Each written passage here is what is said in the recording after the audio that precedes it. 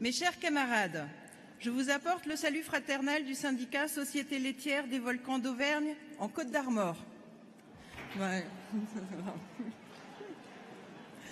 L'entreprise a été liquidée en 2016, laissant sur le carreau les salariés. Cette volonté affichée de la direction de détruire l'outil de travail est le résultat de l'affront de cinq camarades qui ont osé réclamer le paiement de majoration d'heures de nuit.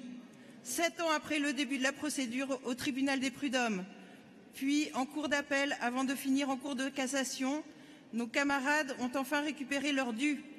Cette année, cette année pendant lesquelles la direction n'a rien cédé, a été insolente de suffisance, espérant que nos camarades s'essouffleraient dans une procédure juridique fleuve. Eh bien non, ils n'ont rien lâché. Pour nos cinq camarades, c'est une bouffée financière âprement arrachée. Les salaires sont dérisoires. La paupérisation des salariés se poursuit inlassablement. À tout cela s'ajoute le contrôle technique des véhicules qui devient plus exigeant, donc plus onéreux. Cela aggrave la, cela aggrave la situation. Une défaillance critique et c'est l'interdiction de circuler avec son véhicule.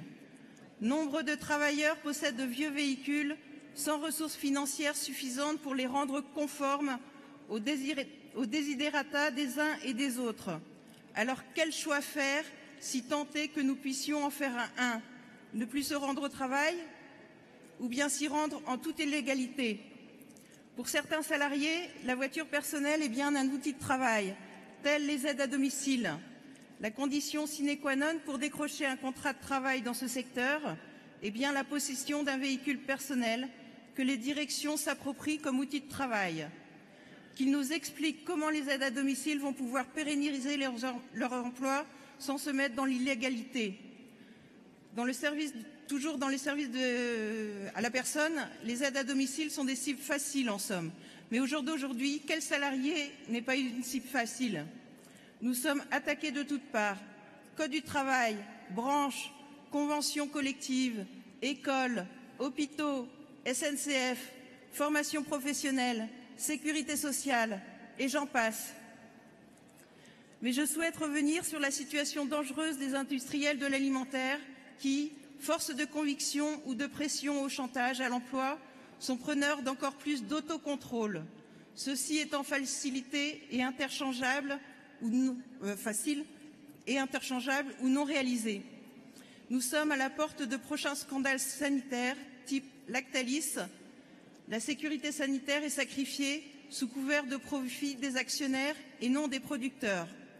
Le droit à l'erreur, associé à la logique de confiance qui leur permet de contourner nos services sanitaires, fabrique le danger sanitaire total, à l'instar de la vache folle. La révolte gronde.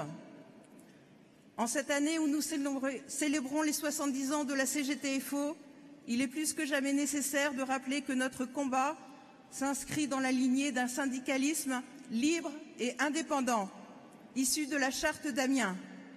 Il est plus que nécessaire de rappeler à certains, adeptes des petits fours, que le combat ne se mène pas autour d'une table de concertation.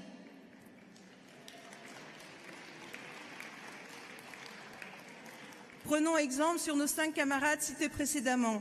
Ne rien lâcher, combattre sans cesse, Vivre debout plutôt que la soumission. Alors, qu'attendons-nous pour nous agiter, pour conserver nos acquis et conquérir non pas de nouveaux droits, mais plus de droits? Qu'attendons-nous pour descendre dans la rue afin de mener la grève générale interprofessionnelle jusqu'à satisfaction?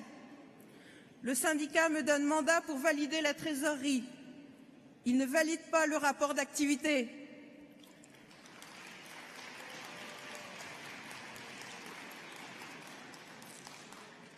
Paix et liberté. Vive la sociale et que vive la CGTFO.